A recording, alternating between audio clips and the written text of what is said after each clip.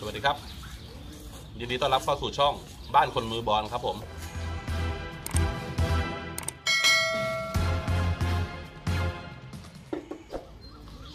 EP นี้เราจะมาแนะนำมีคนทักเข้ามาถามครับ ไม่ว่าจะใน Facebook หรือโทรศัพท์ ว่าปลูกต้นไม้อย่างไรให้เจริญเติบโตไม่ตาย เป็นปัญหาที่เส้นผมบางภูเขาพอสมควรนะครับ บางคนกังวล ว่าทำไมปลูกยังไงต้นไม้ไม่โตใส่ปุ๋ยอัดปุ๋ย อัดปุ๋ยก็ยังตาย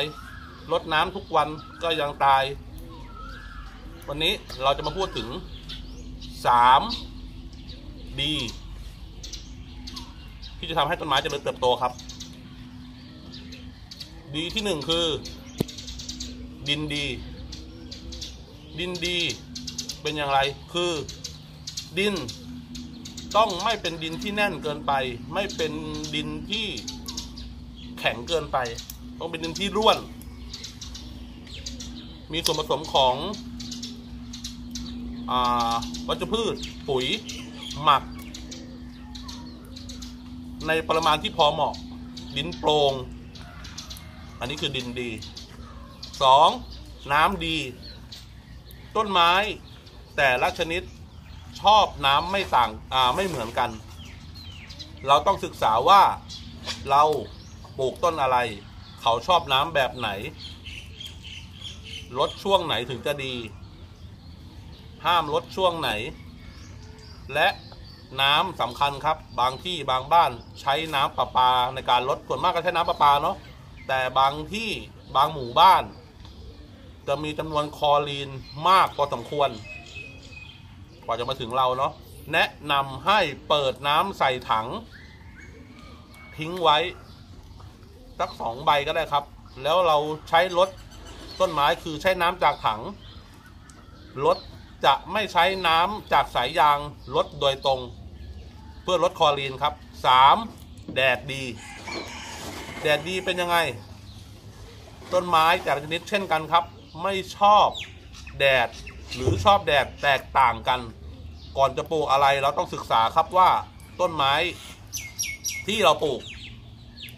ชอบแดดมากน้อยแค่ไหน ชอบแดดช่วงไหน อยู่ในที่ปลูกในที่ร่มลำไรปลูกแดดร้อยเปอร์เซ็นได้ ควรโดนโดนแดดช่วงไหนสามดีครับ รับประกันว่าต้นไม้เจริญเติบโตแน่นอน 4. แถมอีกนิดนึงครับ ปุ๋ย เราต้องดูให้ดีครับว่าปุ๋ยเราควรใส่ช่วงไหน ปุ๋ยเร่งใบ ปุ๋ยเร่งดอก ปุ๋ยเร่งต้น เราควรใส่ช่วงไหน เว้นระยะห่างมากน้อยแค่ไหน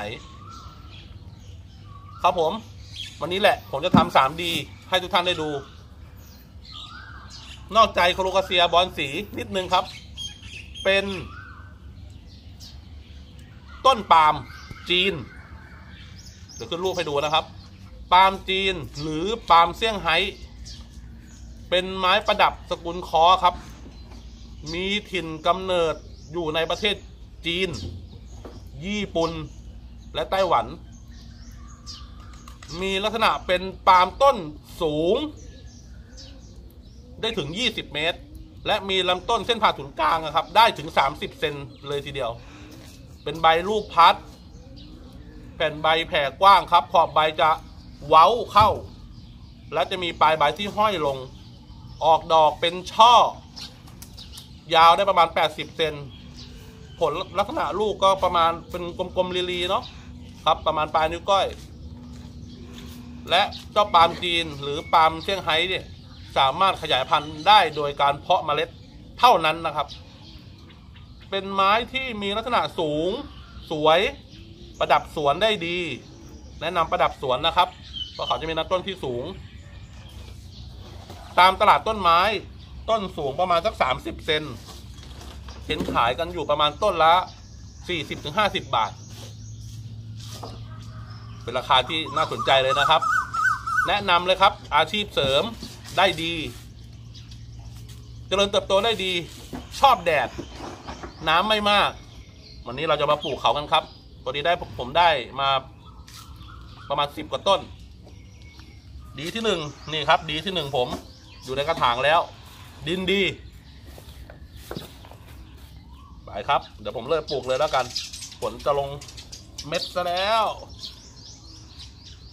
นี่ครับ ผมก็ถอนมา จากดินเลยจากต้นเมล็ดที่เขาร่วงเนาะ ไปครับ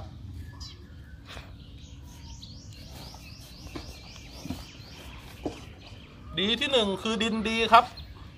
ให้สังเกตว่าต้นไม้ที่เราปลูกชอบดินแบบไหน ดินบัว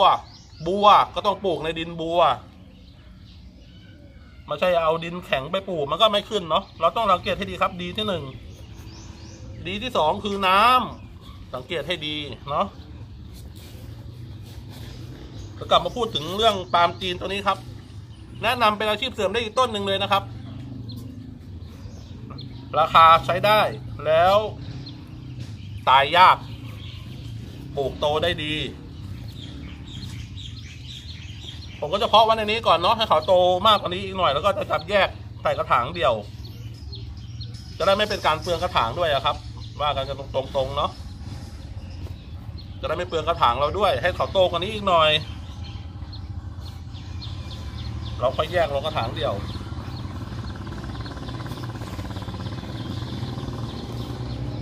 ฟาร์มจีน เมล็ดผมเข้าไปหาในแอปขายของแอปหนึ่งเนาะไม่ไม่ขอเอ่ยชื่อนะครับ เดี๋ยวไปพาดพิงเขา เมล็ดเขาขายกันเมล็ดละแปดบาท ใช่ครับ เมล็ดละแปดบาท ช่อหนึ่งที่ยาวมาแปดสิบเซนเนี่ยมีประมาณ เป็นร้อยถึงสองร้อยเมล็ดนะครับ คิดดูครับ ช่องทางทำเงินทั้งนั้น แนะนำครับ ใครมี ใครหาได้ แนะนำเอามาเพาะมาปลูกกันไว้ ประดับสวนได้สวยครับ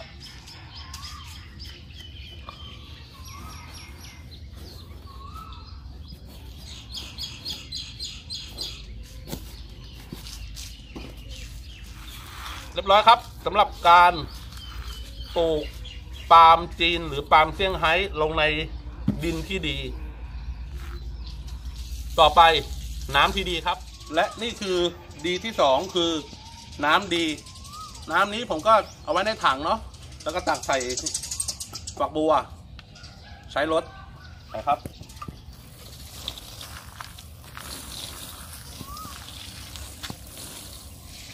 รดให้ชุ่มเลยนะครับ ครั้งแรกปลูกต้นไม้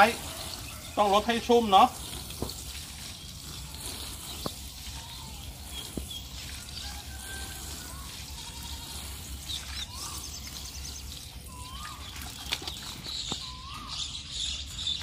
ดีที่สองเสร็จแล้วครับ